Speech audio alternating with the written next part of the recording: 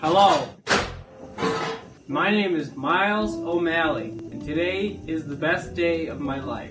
I'm here in my spacious workshop to share with you all the best day of my life. Let me tell you a story about a boy and a big yellow book. It goes by a few different names.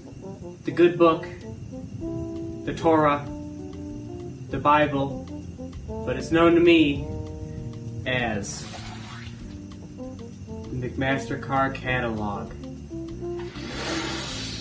There I was 20 minutes ago, waiting for a package, when I hear a large, very loud thump on the front porch. And I, thinking it was the aforementioned package, leisurely walk out to receive it. And what I see sitting there, like Moses crossing the desert for 40 days and 30 nights, was not the package I thought I was receiving, but a large mythical box that I've heard about so many times before.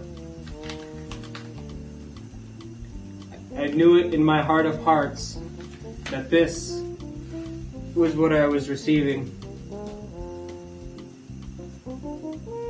The McMaster-Carr catalog. Look at this. Look at this. Thank you for sharing in this moment with me. I bid you good day. Hopefully one day you, like me, can get a McMaster-Carr catalog.